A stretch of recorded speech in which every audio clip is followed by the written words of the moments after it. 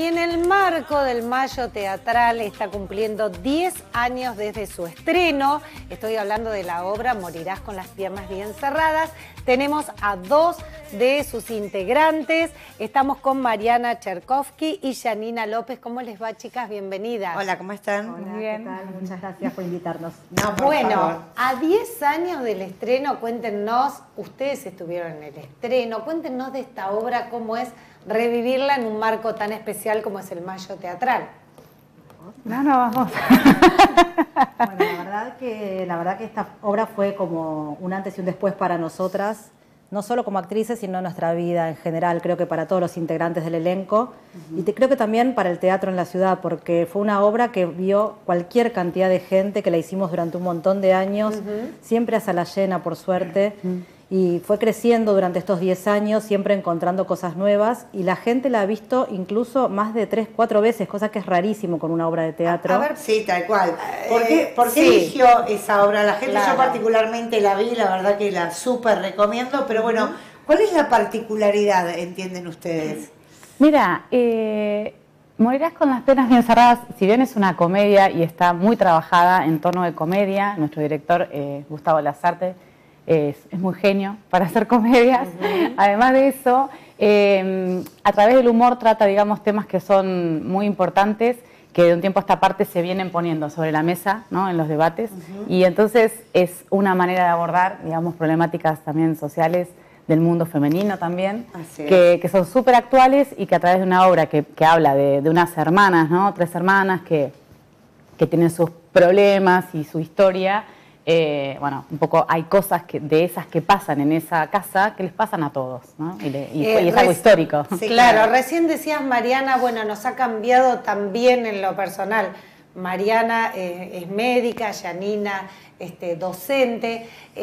cuéntenos cómo les influyó esto en, su tarea, en su vida, en sus relaciones. Mira, a mí al principio yo no soy de acá y vine de Buenos Aires a Tandil y decía, ¿cómo tomarán mis pacientes o la gente que me conoce en otro rol verme haciendo una obra de teatro? Y la verdad que la recepción fue excelente, a tal punto que a veces estoy atendiendo pacientes y me dicen, yo te conozco como Rosario. Claro, eh, de algún lado te conozco. Y la verdad que entre nosotros se generó el grupo de trabajo algo que disfrutamos tanto, que creo que eso es parte de, del secreto del éxito. Nosotras en el escenario y el flaco y la gente que hace la técnica nos divertimos tanto y nos disfrutamos tanto que eso a la gente le llega. ¿Y siguen los mismos en el elenco? Sí, en el elenco están los mismos. ¿Y qué ha pasado con, con esos libros después de 10 años? Digo, llegaron el primer día a ensayar y esa cosa, viste, la tenés guardada en la memoria. ¿Cambiaron algo? ¿Cómo, cómo fluyó? Eh, hace 10 años, cuando más de 10 años, cuando nos juntamos a ensayar, que hicimos como un ensayo de escritorio, decimos nosotros, porque empezamos a leer el texto, no, nos ponemos el cuerpo primero, eh, yo no las conocía las chicas, las chicas sí habían trabajado juntas con el flaco.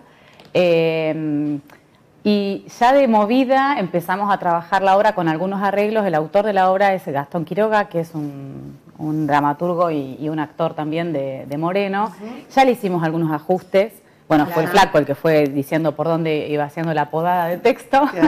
Eh, y en la medida que la fuimos haciendo, se fue ajustando.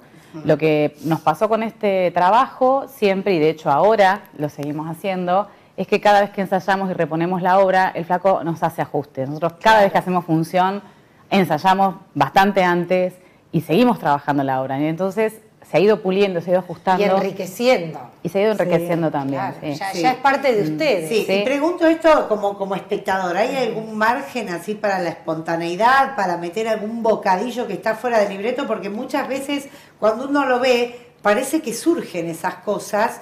Este, Más allá que por ahí no se muevan una letra. No, la verdad que no. Ah, bueno, entonces. Este, todo, lo que hacemos es lo que leíste bien, Andrea. Exactamente, porque es, muy natural cómo fluye entre ustedes, que esa química, bueno, no se conocían, decías vos, las chicas sí, pero esa química se fue dando. Sí, de hecho, como dice Mariana, ¿no? Eh, nos hicimos amigas. O sea, hoy más allá de que después hicimos otros trabajos juntas pero más allá de que mm, por momentos no compartimos ¿no? Eh, proyectos artísticos, de todas maneras nos vamos, vamos a los cumpleaños, nos juntamos a cenar, somos las hermanas, nosotras somos tres hermanas, somos, las hermanitas. somos las hermanitas, en donde nos quedamos amigas y con el flaco ni hablar, ¿no?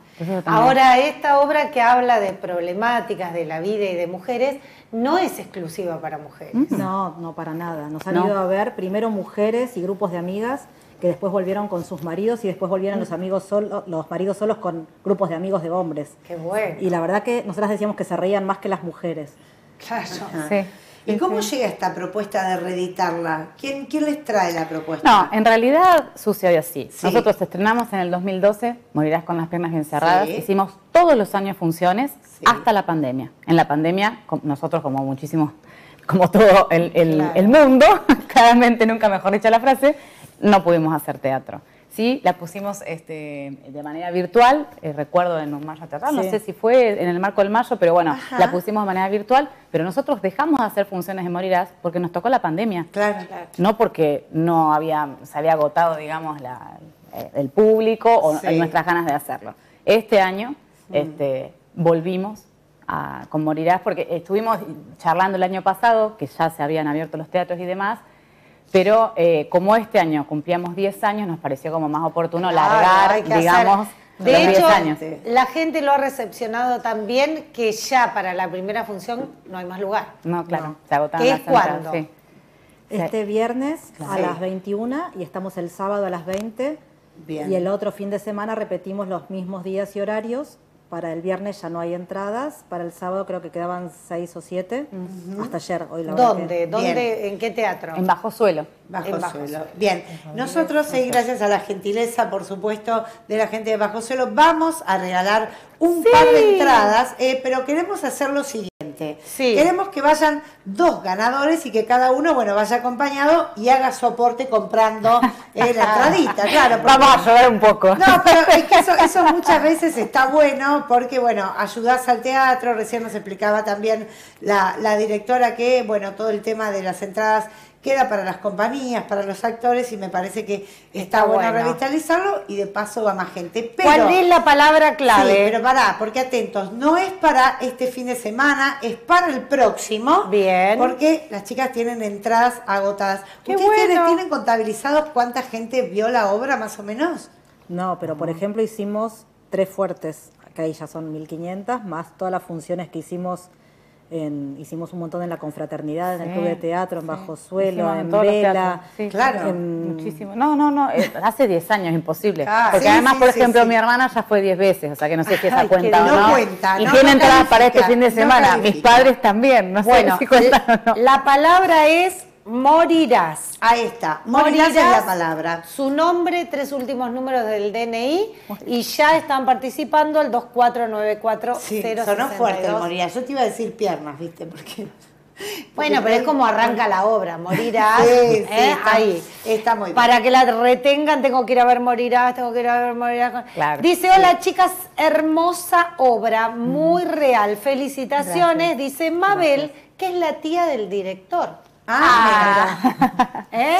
Bueno, nosotros bueno. no tenemos parentesco en absoluto. Yo particularmente la recomiendo. Soy una persona que me cuesta, tengo un Reco- humor muy complicado. Sí. Soy medio ácida para el humor. Sí. Me cuesta reírme. No, no- no hay muchas cosas que me diviertan y la verdad que las tres chicas están en escena fantásticas. Así Muy que- bien, así muy que recomendable para un buen rato y reírse, que por Andrea. tanto.